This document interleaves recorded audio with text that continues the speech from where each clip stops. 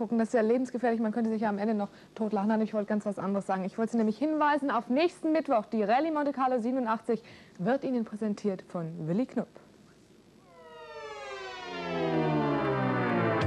Rallye Monte Carlo. Ansichten und Aussichten über den Rallye-Sport. Am 4. März ab 22.50 Uhr bei RTL Plus.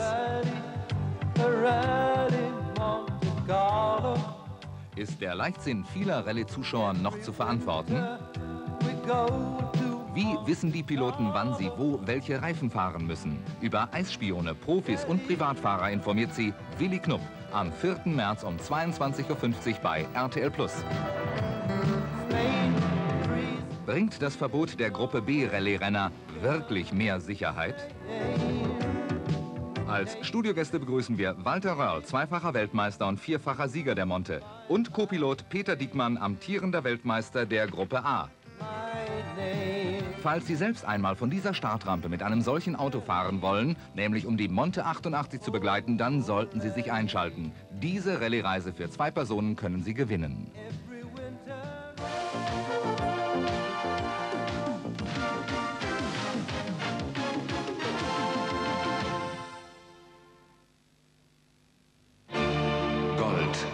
Unvergängliche Schönheit von bleibendem Wert. Goldbarren, Goldstücke, Goldmünzen, Goldkonten, Goldzertifikate. Von ihrer Goldbank in Luxemburg, der Banque Générale du Luxembourg.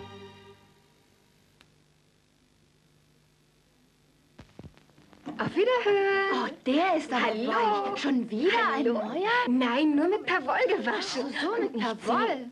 Oh. Ja. oh, wie weich. Neu? Nein, aber mit Perwoll gewaschen. Das muss ich haben. Ja. Oh, weich, die ist neu.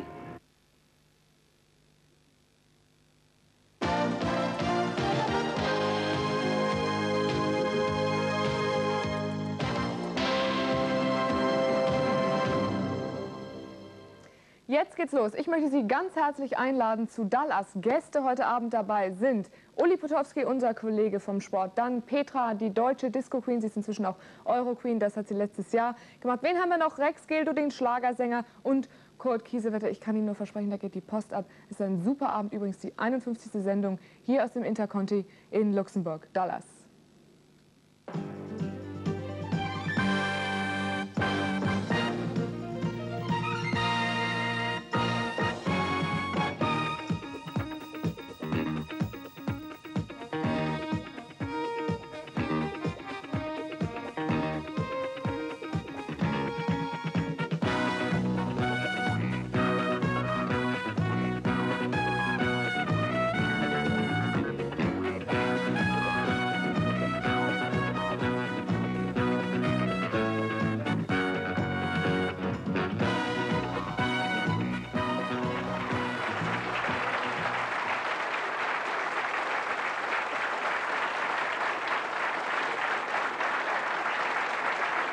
Danke.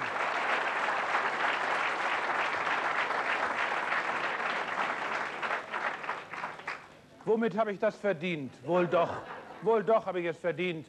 Doch bevor wir die neueste Folge von Dallas beginnen, es ist, glaube ich, die 51. Ja, vor 14 Tagen hatten wir die 50. Was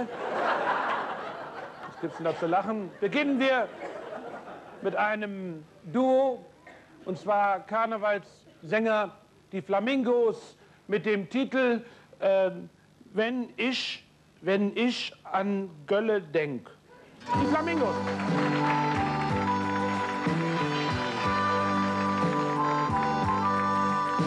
Erzähl das Pult weg von Köln, es droht zu dem Jungen in Berlin. Doch noch ein paar Wochen, doch kommt dann der Brief für den Mann an der Ring. Wenn ich an Köln denk und an unser Pegel, an all die herrlich langen Nächte unser Eck. Und auf der Dom der Blick, et lag's unser Schälensig. Das sind so die in mir, das mag keiner weg.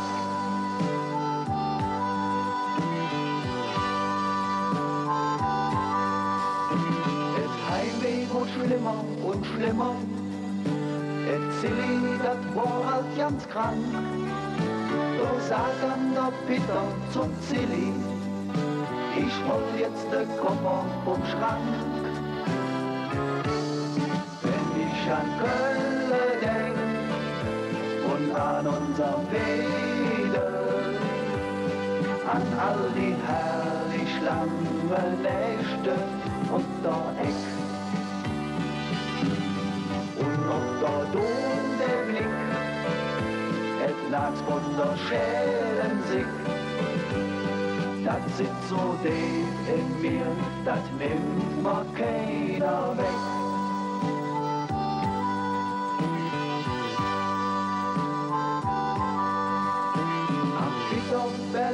Ist so herrlich, ich kriegt mal so viel zu Sinn. Doch glück wir so durch und durch glücklich, werd ich nur in Köln am Ring. Wenn ich an Köln denk und an unser Mädel, an all die herrlich langen Nächte. Oh. Ich an Köln denk und an unser Mädel, an all die herrlich langen Nächte unter Eck. Und der et lag's wunderschönen Sick.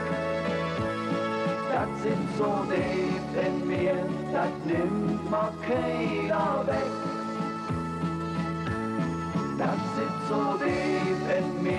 Das nimmt mir keiner weg.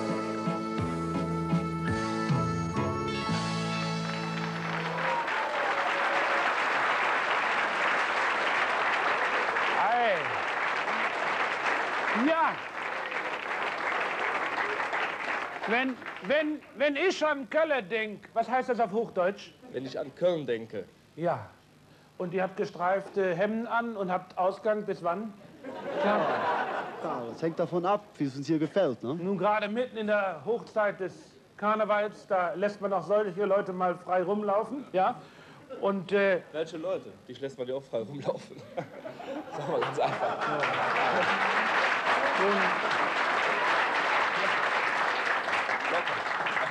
nun ein bisschen auf euch eingehen, ihr seid die Flamingos. Warum nennt ihr euch Flamingos? Weil ihr nur auf einem Bein steht oder wie? Nee, ich glaube, wir stehen schon ganz fest am Boden. Äh, es ist also so, der Name ist einfach entstanden bei irgendeiner Probe. Das hat also gar keine Auswirkungen. Hätte auf auch die Krokodils sein können. Hätte auch die. Krokodile sein können, genau. Oder die, die äh, Pelikane, ja? Ja, Die klar. Pelikans wäre auch nicht schlecht, nicht? Nein, aber es gab in Köln schon Hühner und da haben wir gedacht, ach, warum nicht Flamingos? Ne? Ja, ja. Da war ja einer, der da mit seiner Frau also nach Grönland fuhr und sieht da so einen Pelikan. Da sagt, er, da sagt sie, guck mal, von dem Pelikan hätte ich auch gerne mal einen Pelzmantel. Jetzt habe ich den Gag vermasselt. Da sagt, da sagt die Frau, das sind Pinguine und da werden Füllfederhalter draus gemacht. ähm, ja, ja.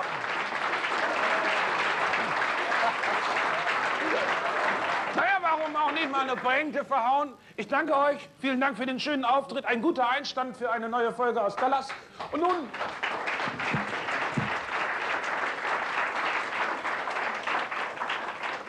Nun kommen wir auch dazu, dass ich mich auch, setzen darf, denn im Sitzen lässt sich also leichter moderieren. Das wissen auch unsere Nachrichtensprecher. Ich sehe da zufällig einen im Publikum sitzen. Warum hast du nicht eigentlich auch die Pfeife, wenn du moderierst? Ja?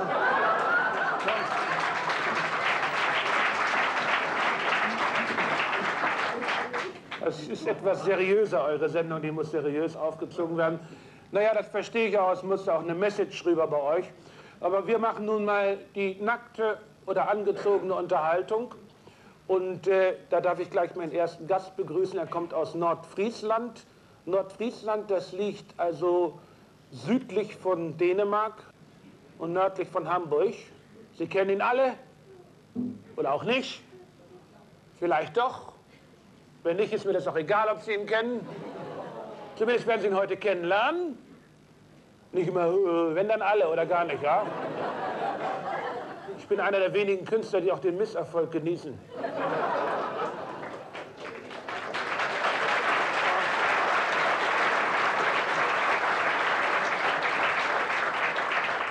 Hätte ich nicht gedacht, dass an der Stelle geklatscht wird. Das geht ja auch nicht gegen mich. Ich freue mich auf Knut Kiesewetter. Da kommt er.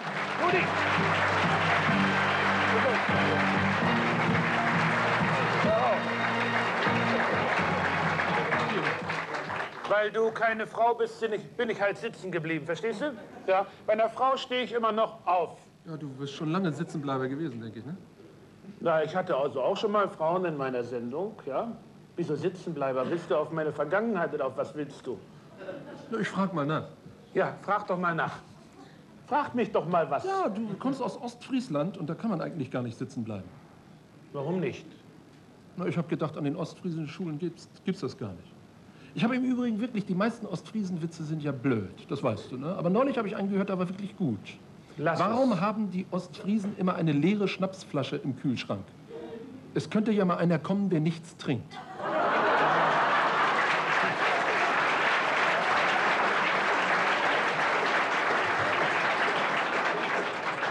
Aber ich habe noch was deiner Erklärung zu, hinzuzufügen. Nordfriesland, dänische Grenze, hat er gesagt. Das muss man sich ganz einfach vorstellen wie auf der Landkarte. Ne? Also hier geht also die von Ihnen aus gesehen. Hier ist dann die Ostsee, da die Nordsee, da quer läuft die deutsch-dänische Grenze. An dieser Seite, also an der Nordseeseite, da sitzt, also direkt unterhalb dieser Grenze, sitzt Nordfriesland. Da, Da. und unten drunter hängt die Bundesrepublik wie so ein lascher Sack.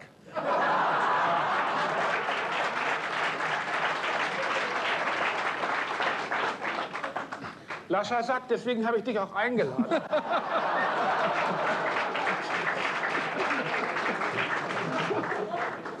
Wollen wir es gleich machen? Singst du gleich deinen Titel und dann unterhalten wir uns? Oder äh, sollen die Leute noch so lange zittern? Ja? Na gut, dann machen wir das. Ne? ja. Je eher daran, je eher davon, sagt man bei uns. Bitte was? Je eher daran, je eher davon. Ähm, was heißt je er? Je, eher? eher. Ja. Ja, die Ehe, das ist also eine Zweierverbindung. Richtig. Je, je verheirateter, der, der Mann, Beziehungskiste heißt das heute. Zweierkiste. Ja. ja? Du lebst ja auch in einer Zweierbeziehungskiste. Ja, ja. Du hast ein ambivalentes Verhältnis. Wie lange bist du denn schon, wie lange ist deine Frau, musste die denn schon mit dir verheiratet sein? Äh, die musste jetzt schon 18 Jahre mit mir verheiratet sein. Ja, und es gibt nichts Besseres. Ja.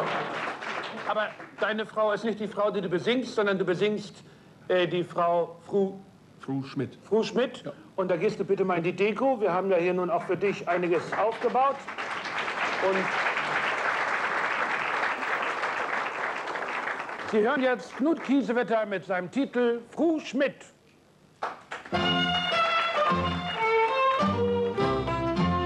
Da wird mal ein nieuwe kroeg in onze lille stad.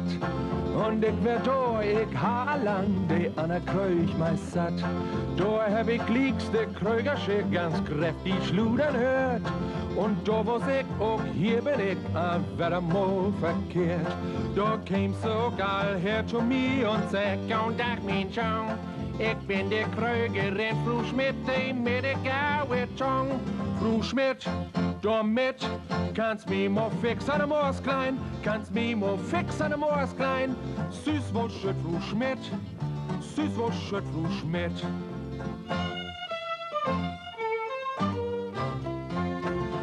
Als dat Lotto etten wär in unser ganze Stadt, doch sind die Lüd go to Schmidt, doch kriegst du jimmers wat.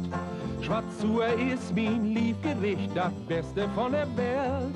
Ich set mi hin und reib Fru Schmidt und hab mi dat bestellt. Doch seh der Kröger shit to mi, dat deit mi leid, mein Jong. Ich hab bloß ein Gericht für die und dat is Ossentung. Fru Schmidt, Schmidt, damit, kannst mi mo fix an dem Ohr klein, kannst mi mo fix an dem Ohr klein. Süß wo shit, Fru Schmidt, süß.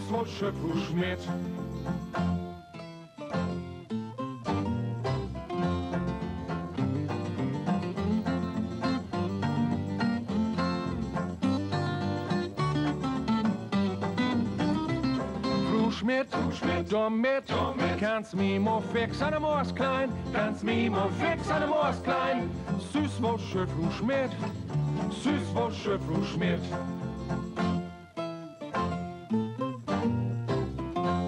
Ik dreig eenmaal een haarbüdel aan, zijn omkom Tustad. Zo'n schöne een moet verwiesbaan, von uns weet jedereen dat. Ik kwam op Biflusch mit voorbij, dat moet en ook maar wen. Und dat zo'n grote Bruse brand, het zij ook lang niet zijn. Då zei de Krögersche zu mir, wat bist du doen, mein Jong? Ik zeg de waarheid, zei die voor, ik heb een scharpe Tong. Fru Schmidt, damit kannst mi mo fix an dem Moors klein, kannst mi mo fix an dem Moors klein. Süß wo schütt Fru Schmidt, süß wo schütt Fru Schmidt.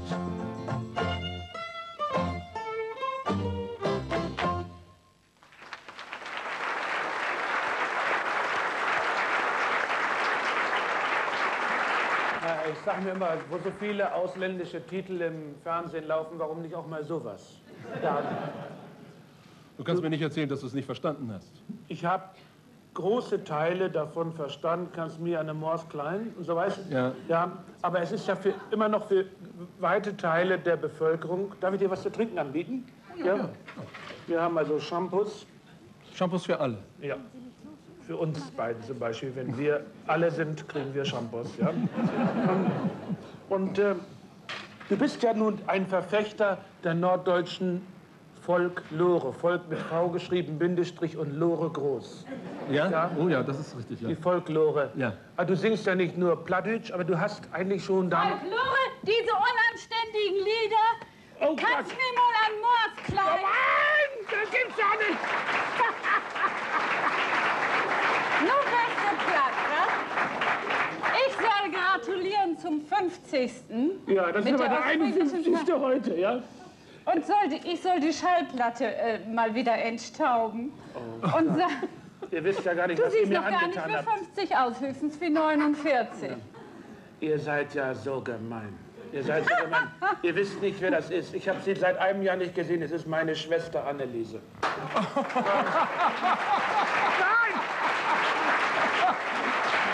Oh Gott! Nein!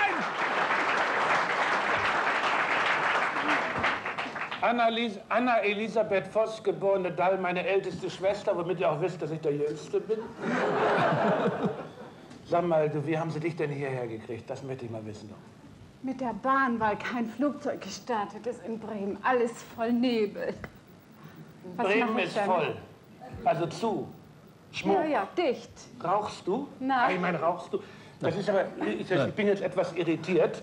Nun, äh, das ist Knut Soll ich Kiesewetter. wieder weggehen? Nee, nee, nun bleib mal. Jetzt müssen wir dich ja nun hier behalten. Wir haben dich ja nun mit der Ich Bahn habe extra dein. Lieblingsgemüse mitgebracht. Ja, das finde ich toll. Ich hatte letztens, normalerweise kriege ich ja Blumen mit Töpfen.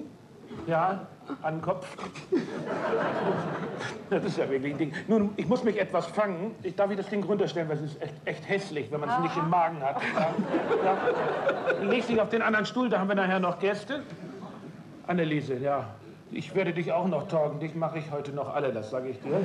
Doch, ich habe gerade mal den Kurt, der war gerade mitten in einem Satz und wir müssen ihm die Möglichkeit geben, dass er den zu Ende spricht, ja? Was war denn eigentlich noch? Es hatte sich ja keine Sau dafür interessiert, was du gerade gesagt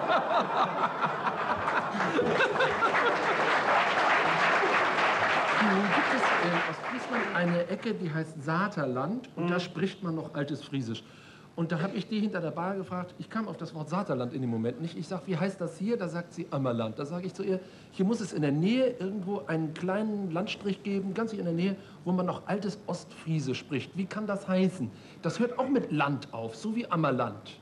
Da sagt sie, Sie meinen Nordrhein-Westfalen?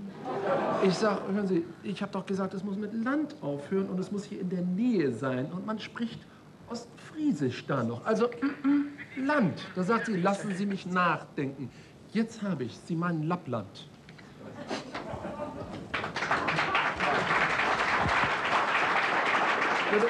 Jetzt hast du, Das ist mir so passiert, aber ich, ich merk- so lange ich, reden müssen, bis die Leute einen müden Lacher hatten. Ja gut, aber ich, ich gebe zu, dass es dadurch, dass es nicht Ostfriesland war, ist es auch nicht mehr so komisch. Ja. Nun, äh, Knut, ich, bin, ich muss dir erstmal meine Schwester fragen. Ob sie was trinken will. Höchstwahrscheinlich sagt sie ja, denn sie kommt ja auch aus dem Landstrich, das frage ich gar nicht erst.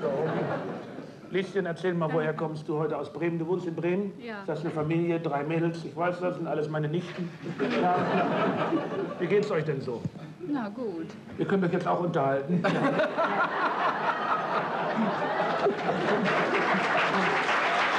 Du noch was eben kurz zu sagen, bevor ich... ich Nee, muss jetzt, nichts. Dass ich, dass ich zur 50. Sendung nicht geschafft habe wegen Nebel und zu spät gekommen Na, bin. das macht 51. nichts. Ja, von Bremen bis hierher braucht man eben 14 Tage.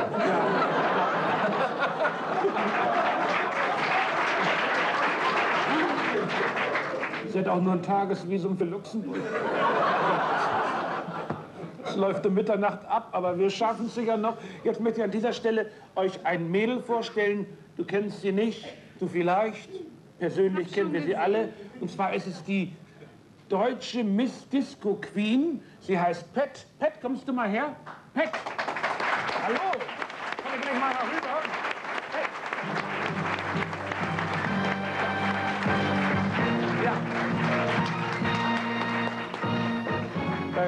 Dir gegenüber komme ich mir so ein bisschen klein vor. Ja. Machst du keine Sorgen machen. Wie, wie alt bist du denn und hat die Schule dich heute freigelassen? Ja. Also ganz im Geheim, ich werde 25. Das sagt man in dem Beruf aber nicht. Okay, ich nehme es zurück. Also das sagt Joan Collins auch immer. Ja. Ich meine, aus John Collins kann man ja zwei 25-Jährige machen. Ja. Ja, könntest du recht haben. Ja. Äh, Pat, du hast von 1986, vom letzten Jahr, also die Miss Disco Queen äh, für Deutschland vertreten, kann man sagen. Äh, wie man eben als Vertreter zum Beispiel Teppichböden vertritt. Ja? Nicht ganz so. Ich äh, habe Deutschland vertreten bei der Europameisterschaft, die übrigens hier in RTL auch äh, ausgestrahlt worden ist. Und ich habe es erfolgreich vertreten, zum ersten Mal den Titel für Mhm. uns nach Deutschland holen können. Ich bin jetzt auch Europameisterin. Ja, das ist doch was Großartiges. Ja.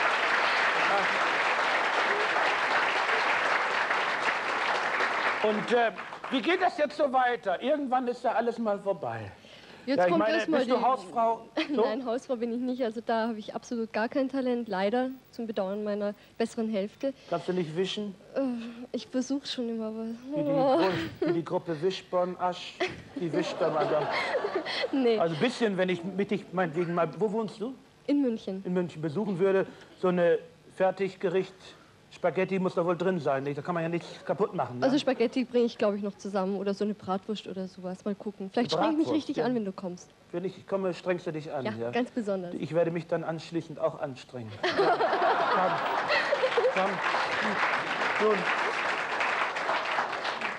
Du, du, du vertrittst nicht nur Deutschland, äh, äh, also bei den Deutschlandwahlen, Europa oder Europa bei den Deutschlandwahlen, sondern du singst und tanzt auch. Wir wollen dich heute in deiner vollen Bewegung sehen. Ja, das ist ja das Wichtigste. ganz kurz noch was dazu sagen.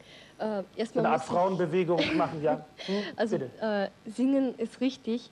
Die erste Single ist fertig, Music ist. Aber für euch habe ich heute schon das neue Stück mitgebracht und Das glaube ich nicht, wirklich. extra für dich. Für Doch, wir haben uns unheimlich angestrengt. Heute Nacht ist das Band per Express nach Hause gekommen, dass ich es heute bringen kann. Nein, das kann ich nicht annehmen. Ja? Das ist ja wirklich. ist ja reizend.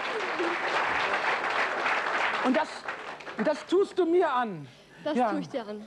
Und wie heißt die, dieses neue Stück, was per Express zu mir gekommen ist? Also eigentlich heißt es Back to My Boy, aber vielleicht taufe ich es ja nochmal um. Back to My Carl oder sowas in der Richtung. Back- Würde dir das gefallen? Back to my Carl wäre gar Ja. nicht schlecht, aber Wäre gut, ne? es, bis jetzt heißt Aber dann musst du immer als Background-Tänzer mitkommen und tanzen, ne? also wie damals bei, bei diesen, äh, wie heißt denn noch diese, Cheerleading und so weiter. ja, nee, und da war auch noch diese Gruppe, jetzt dampft es hier schon wieder, da war diese, diese Gruppe, wo der eine immer rumtanzt und alle seien, dachten, das sei Roberto Blanco. Ähm, wie hieß? Die Breakdance-mäßig oder was meinst du? Brechtanz war das nichts mit zu tun. Nein, mit, nein. Pitt, wir sehen dich jetzt mit Back to the Boy. Ja, und da bitte ich um Ihre Aufmerksamkeit.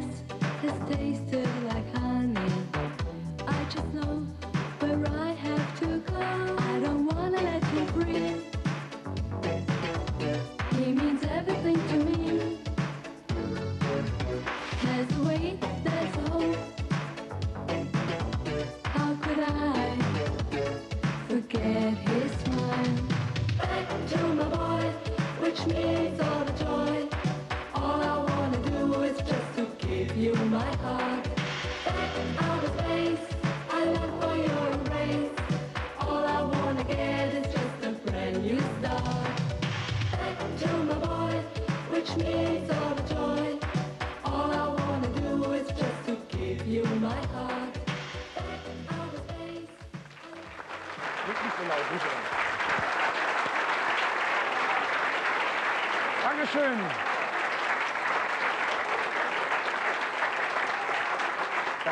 Back to the share. Unsere Pet. Pet, du kannst uns mal ein bisschen bedienen, ja? Hier ist äh, Alkohol. Alkohol, dann kannst du mal die Gläser gleich alle voll kippen. Und mal sehen, ob du das auch schaffst mit deinen eleganten Bewegungen. Denn ich bin immer dabei, dafür, dass die Frauen irgendwo beschäftigt werden müssen. Ja. Würdest du mal das Glas rüberreichen? Beschäftigungstherapie. Ob du das Glas rüberreichen möchtest? Ja, aber gerne Ach so. doch. Ich reiche das Glas Ich habe keine Lust mehr, jetzt irgendwas anzufassen. Ja? Das ist dein? Arbeitsbeschaffungsprogramm. Ja. Nein. Aber, Darf ich mir selber auch was aber einschenken? das klingt wie, ja du darfst, natürlich darfst du dir einschenken, das ist ja so abgemacht im Rahmen der ABS, also Maßnahmen, ja, nee, das ist ja ein Bremssystem. Ja. Nun, äh, sag mal, wenn du jetzt zum Beispiel so, das hat ja so ein bisschen was, wenn ich das nicht abwertend sagen darf, Go-Go, Go-Go, nicht so, ist das so. Wie, wie viele Stunden schaffst du das, dich so zu schaffen, ohne dass du transformierst? Das war ein bisschen viel auf einmal. Also äh, mit Gogo hat es Gott sei Dank nichts zu tun. Es ist äh, ein Tanzsport, den wir betreiben. Und von der Wertung her ist nicht nur einfach so ein bisschen Tanzen, Hopsasa, sondern da geht es um Personality, Ausstrahlung, Kostüm. Und das ist doch eine ganze Menge. Also die Also Anforderungen sind sehr hoch geworden. Sport wird ja eigentlich auch bei uns subventioniert, nicht? Aber leider nicht unser Sport, leider nicht Sport nicht. Tanzsport. Dich haben sie auf damals in, äh, auf Ibiza oder in Ibiza oder um Ibiza herum ge gekürt, ja? Das stimmt. Und ähm, bitte, bitte. Ü heißt das. Achso, geürt, gekürt. Und ähm, wie ist das so, wenn man also immer wieder ausgelesen wird, bis man dann als Letzte übrig bleibt? Die anderen kommen.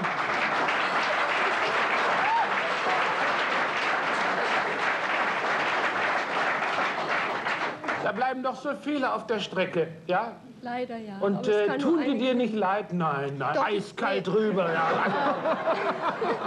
Nein, nicht ganz. Also ich sehe das schon ganz fair. Ich habe die anderen Mädchen äh, beobachtet und ich muss sagen, jedes Mädchen hat für sich so dufte getanzt und es kann halt leider Gottes über jedem Wettbewerb nur eine gewinnen. Nur wenn es ein anderes Mädchen gewesen wäre und sie wäre wirklich irgendwie besser gewesen in allem, hätte ich genauso mich hingestellt, applaudiert, ihr die Hand geschüttelt und gratuliert. Also ich sehe das ganz offen und ganz natürlich. Ich habe zum Spaß mitgemacht, wie alle Mädchen.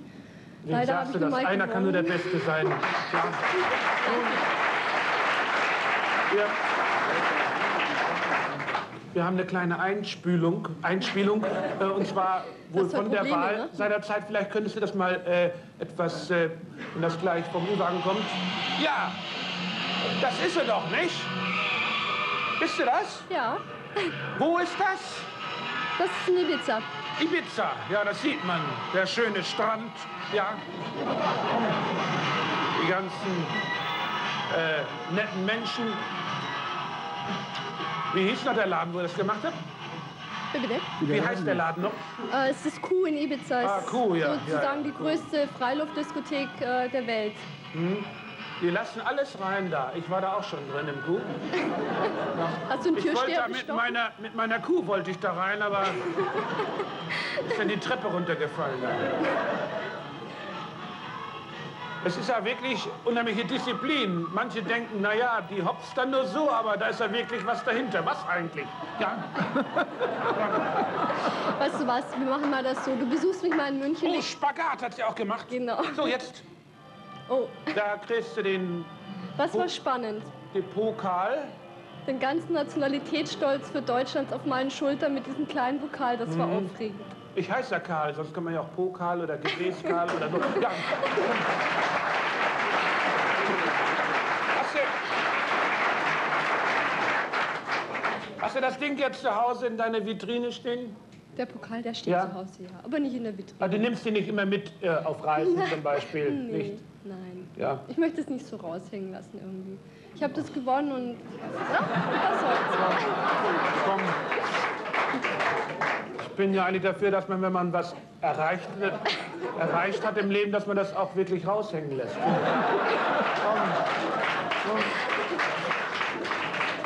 Aber da ich ja vorhin diese Eselsbrücke geschlagen habe, dass ja auch Sport irgendwo damit zu tun hat, was ihr als Disco Queen macht, haben wir jetzt unseren Flachmann, Fachmann äh, des Sportes hier. Er hat heute Abend noch, oder fast jeden Abend ist er auf dem Kanal. Er hat ja auch weiter kein Zuhause. Wenn die, wenn die Sender dicht machen, stellt er sein Feldbett dann hin. Ich freue mich. Ich habe mal vor ein paar Wochen ein kleines Bier mit ihm getrunken. Aber der muss da gleich wieder moderieren, moderieren. Und er hat ja nichts anderes im Kopf. Uli Potowski. Ja. ja.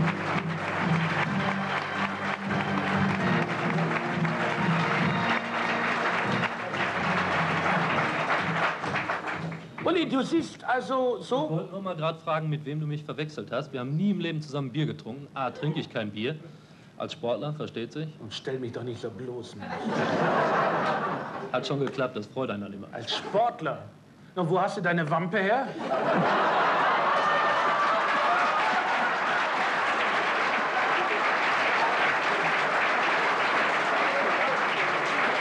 Das ist das Schlimme, er spielt immer auf die niedrigsten Instinkte an und es klappt, erstaunlicherweise.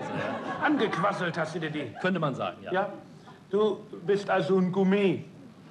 Gourmet. Oh, ja.